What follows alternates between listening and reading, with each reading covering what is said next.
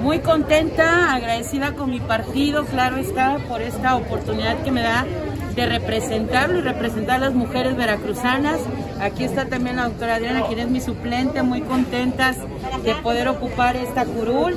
Y vamos a trabajar por la igualdad y la equidad, sí, claro, pero también por todas las leyes que están obsoletas y que hay que renovar dentro de la legislatura en el Congreso de Veracruz. O sea, vas por la actualización del Congreso.